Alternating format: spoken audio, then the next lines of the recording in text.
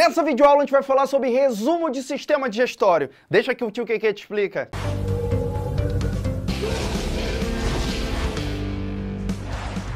Deixa que a gente explica. Fala, gigante! Tudo bem com vocês? Galera, essa é a nossa aula de resumo de sistema digestório. Deixa eu sair da frente para você bater aquele velho print maroto, para quem gosta de parar o vídeo e anotar. Lembra também que a gente tem uma aula completa sobre isso, tá, galera? Mas essa aula é aula de resumo. E eu já vou te falar o que é importante. Eu sou professor de cursinho, então eu sei basicamente o que, que mais cai. Então fica de olho, pega papel e caneta e anota e presta atenção no que eu tô falando, tá? Primeira coisa, o que é digestão, Kennedy? Digerir no nosso dia a dia que está na nossa alimentação é você pegar moléculas grandes, o que a gente chama de macromoléculas, quebrar, digerir, até transformar em moléculas menores para que o teu corpo ele possa absorver, beleza? Quem são essas macromoléculas que caem em prova? São elas. Carboidratos, me dá exemplo de carboidratos. Eu tenho massas em gerais, eu tenho pão que pode cair em prova, tá? Você vai pegar esses açúcares, esses carboidratos e quebrar até glicose. Um grande exemplo que eu posso dar também é o amido, galera. O amido, ele é um carboidrato que gente vai quebrar em maltose. Depois de maltose, eu vou quebrar até glicose e o teu corpo vai absorver na forma de glicose, que é menor. Eu posso dar exemplo também de proteínas que estão no nosso dia a dia. Me dá um exemplo do outro lado, proteínas. O ovo, o leite, carnes em gerais, até vegetais que pode ter na soja. Você vai quebrar a proteína até o que a gente chama de peptídeos, olha o que eu estou falando, peptídeos, ou aminoácidos. Os aminoácidos são moléculas menores que o teu corpo vai absorver. Também pode cair em prova gordura, lipídio. Então, as gorduras em gerais, que a gente pode ter na banha e tudo mais, elas vão ser quebradas até ácido graxo e álcool, tá? Então, tudo isso é pegar a macromolécula, quebrar, digerir, até transformar em uma molécula menor para a gente absorver. Existe a digestão mecânica, ou seja, que pode ser feita pelos nossos dentes, ou até estruturas que apertam dentro do nosso sistema digestório. E também a digestão química, que é feita por enzimas. E deixa eu te dar logo um macete. O nome das enzimas geralmente é o nome da estrutura que ela vai digerir mais ase. Vou dar um exemplo. Amido, ela vai digerir um carboidrato. Nome da enzima, amilase. Lipídio, chuta qual é o nome da enzima? Lipase. Proteína, geralmente o nome das enzimas é um pouco mais difícil da proteína, mas são as proteases. E assim por diante, tá? Outra coisinha, presta atenção para cá. O teu professor também pode pedir em prova a anatomia do sistema digestório. Por isso que eu desenhei aqui. Ele pode colocar setinhas e perguntar onde está cada órgão. E ele também ele pode dividir o sistema digestório em tubo digestório, que é o caminho. Qual é o caminho do tubo digestório? Que eu coloquei desse lado, até coloquei em números aqui. Ou ele pode perguntar as glândulas acessórias ou glândulas anexas do sistema digestório. Elas não fazem parte do tubo digestório, porém elas ajudam o sistema digestório que a gente já vai ver daqui a pouquinho, tá? Qual é o caminho? Primeiro, anatomia. Qual é o caminho do nosso alimento ao longo, ao longo do nosso tubo digestório? É ele, boca, então você ingere pela boca. Depois da boca, olha aqui, vai para a faringe. Lembrando que a faringe, ela comunica dois sistemas, tá, galera? Ela, dela pode ir para o digestório, ou também pode ir para o respiratório. É por isso que algumas vezes você se engasga. É por isso que muitas vezes você toma uma água muito rápido, se afoga, porque sem querer vai da faringe, em vez de seguir adiante para o esôfago, que é o terceiro lugar, vai para a laringe. E a laringe é do sistema respiratório. E olha que interessante que pode cair em prova. Existe aqui uma cartilagem que ela bloqueia quando a gente está se alimentando para não deixar o alimento ir para o sistema respiratório. Qual é o nome dessa cartilagem? Ela é chamada de epiglote. O buraco é a glote e a cartilagem é a epiglote, que não deixa o alimento ir para a laringe, que é o sistema respiratório. Então começa boca, faringe, depois eu vou para o esôfago, tá? Do esôfago eu vou para o estômago, do estômago eu vou para o intestino mais fino, por isso que o nome dele é delgado, e por último eu vou para o intestino grosso. Então esse é o nosso tubo digestório. Funções, Kennedy. O que, que, ele vai perguntar sobre as funções? Quando a gente vai se alimentar, a gente vai colocar carboidrato, vai colocar proteína, vai colocar lipídio no nosso, no nosso dia a dia, tá comendo, ó, fazendo uma alimentação. E ele pode perguntar, onde começa a digestão de carboidrato? Aí você já vai dizer, comer um pão. Onde começa a digestão de carboidrato? Na boca, galera. É claro que a boca, ela faz a digestão mecânica de tudo, tá? Quando você coloca, ah, tem dente, né? Então, digestão mecânica através dos dentes. É de tudo, proteína, lipídio, carboidrato. Mas na boca, eu tenho também enzimas. Olha que legal. Na boca, começa a digestão de carboidrato. Um grande exemplo é o amido. Por quê? Na nossa boca, eu tenho glândulas aqui, que são chamadas de glândulas anexas do tubo digestório, que são chamadas de glândulas salivares. Eu tenho algumas glândulas salivares aqui. E elas vão produzir a saliva. A saliva tem vários íons e também tem uma enzima chamada de pitialina. Repete comigo. Qual é o nome dela? Pitialina. Também chamado de amilase salivar. Pô, amilase salivar. Amilase digere amido na saliva, então digere carboidrato. Outra coisinha que ele pode perguntar, qual é o pH da boca? Qual é o pH que a enzima vai atuar? Lembra que o pH, galera, vai de 0 a 14, presta atenção, em torno de 7 é neutro. Menor que 7, 5, 2 é ácido. Maior que 7, 8, 9, 10 é básico. E o pH da boca é em torno da neutralidade, é 7 e tem digestão de carboidrato, um pedaço de pão, graças a essa enzima pitialina ou amilase salivar. Logo depois vai para a faringe, tá? Faringe, epiglote fechada, aí vai para o esôfago. No esôfago, o que, que pode cair em prova?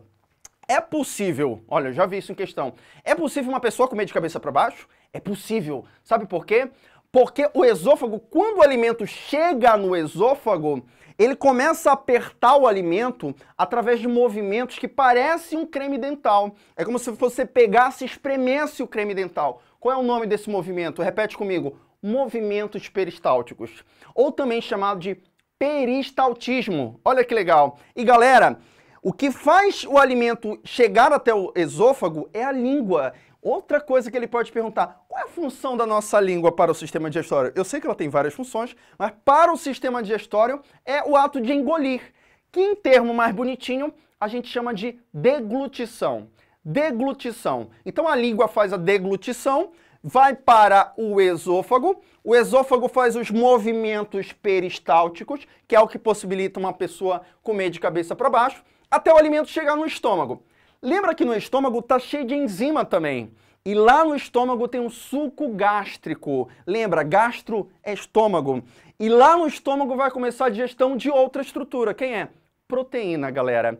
Onde começa a digestão de proteína quando eu como um pedaço de carne? É na boca? Não. Mecânica sim, química não. Mas é no estômago. O estômago, ele nesse momento, devido ao ácido clorídrico, ele vai ser ácido, pH menor que 7, olha, pH em torno de 2.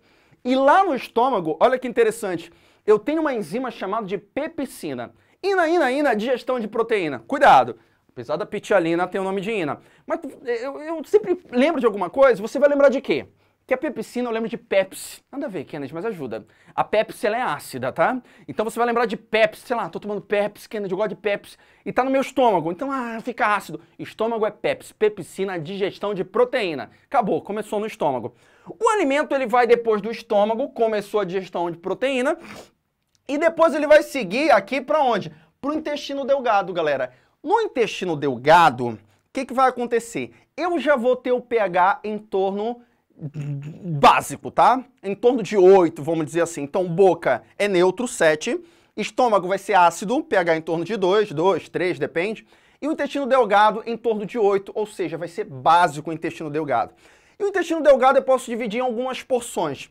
O duodeno, o jejuno e o íleo. O duodeno bem por aqui, o jejuno e o íleo bem por aqui. O duodeno, que é o mais importante para a prova, é lá que vai acontecer quase a digestão de tudo de tudo, tá? Tanto de é, amido, que é o carboidrato, tanto de proteína, tanto de lipídio, e também onde eu tenho a absorção da maioria dos nutrientes.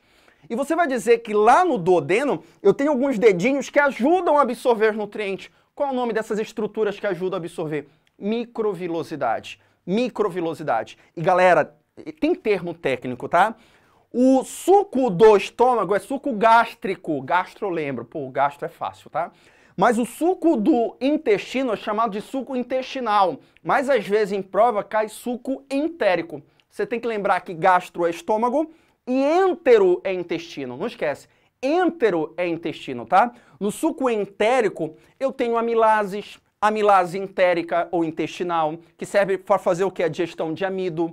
Eu tenho maltase, adipose, é maltase, faz digestão de maltose, que também é carboidrato. E eu tenho, olha aqui, a erepicina, que você não vai confundir se ele colocar tripsina e erepicina. Presta atenção, pipicina tu vai lembrar de Pepsi. Pepsi é no estômago. Acabou. A tripsina e erepicina, pô, de quem é? De, é do suco pancreático ou é do suco intestinal? Com toda calma. Entérico começa com E. O aluno não erra. Começa com E. Erepicina começa com E. Acabou. Então a erepicina é do suco entérico, que é o suco intestinal. E erepicina, ina, ina, ina, faz digestão de quê? De proteína. Só que, cara, aqui no meu intestino, eu tenho também dificuldade em digerir gordura. Por que gordura? Porque a gordura é difícil de digerir. É por isso que eu vou ter ajuda de quem? Do pâncreas. O pâncreas, olha aqui, olha, o pâncreas, ele é uma glândula anexa, acessório do sistema digestório. Não é ele que produz lá os hormônios, que é glucagon insulina? É. Então ele tem uma função endócrina, que é a função hormonal, e tem uma função também exócrina, ou seja, ele é uma glândula mista. Ele produz enzimas. E ele tem um suco pancreático. O suco pancreático do pâncreas é liberado no intestino e ajuda o intestino. Ele tem amilase, que faz a digestão de amido, amilase pancreática.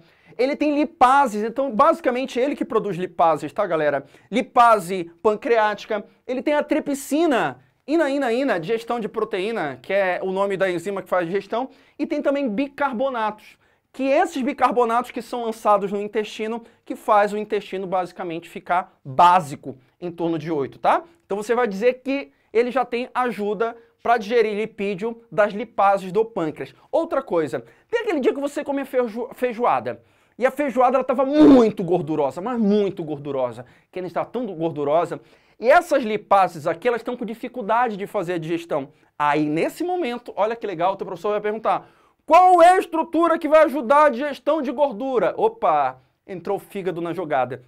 O fígado é outra glândula anexa, é outra glândula que ajuda o sistema digestório. No fígado vai ser produzida uma substância chamada de bile, galera. Bile. E a bile é armazenada na vesícula biliar. Acho que vocês já ouviram falar. E ela fica na vesícula biliar e quando a gente precisa, ela é liberada aqui no nosso intestino delgado, no duodeno. Qual é o objetivo dela? Não é digerir. Se cair em prova que a bile faz a digestão de gordura, tá errado. Quem faz a digestão de gordura são as lipases. O que ela faz, na verdade, é soltar a gordura e atuar como detergente. Sabe o detergente? Já caiu uma vez em prova detergente? Eu jogo detergente e solta a gordura? Então, a gente chama isso de emulsionar. Emulsiona a gordura, emulsiona lipídio. É isso que a bile faz, ajuda as lipases. Beleza? Então no duodeno tem digestão de muita coisa, tem ação do suco pancreático, tem ação da bile, tá? Beleza? E no jejum e no ilho eu vou absorver mais nutrientes, tá? O nosso intestino grosso, ele basicamente vai aqui, ó. Eu tenho aqui o apêndice desse lado, eu tenho seco, beleza? Eu tenho aqui, olha, seco, cólon, colo ascendente porque subiu, transverso, descendente porque desceu, sigmoide, porque parece uh, o símbolo sigma, o reto e o ânus. O intestino grosso basicamente ajuda na absorção de água, alguns sais minerais e também na produção de fezes, tá galera? Se você gostou dessa aula, não esquece de deixar aquela curtida aqui e me aguarda na próxima aula. Beijão pra vocês.